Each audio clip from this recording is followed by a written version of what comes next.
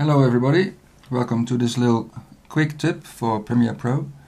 I'm going to show you how to do the uh, famous teal and orange look which you can see in uh, uh, almost every blockbuster movie these days.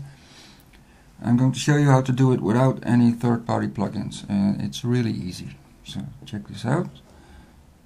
Uh, import your footage. This is a little clip I shot in Paris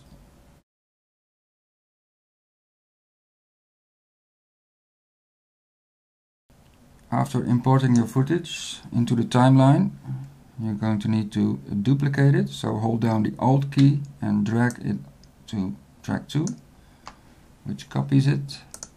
Now we have two clips.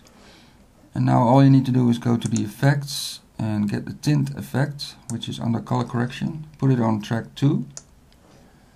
Map black to a nice tealy color teal is in between blue and green so about here.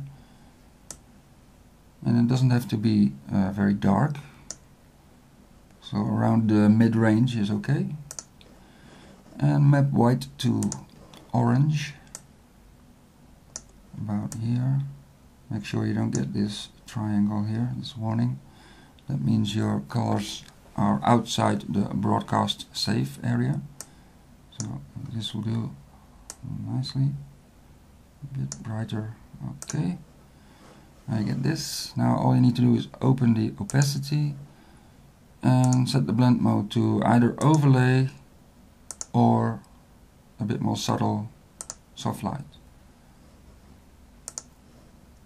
And you can dial in the effect of course by changing the opacity like so.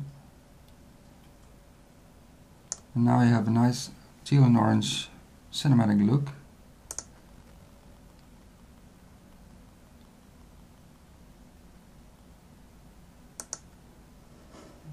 Let me show you before and after. I think there's quite a nice difference here. So that's it for this little quick tip. This will work in any NLE, in any editing program, and also in After Effects. So this is a nice and easy way to do it without uh, third-party plugins like Mojo or whatever.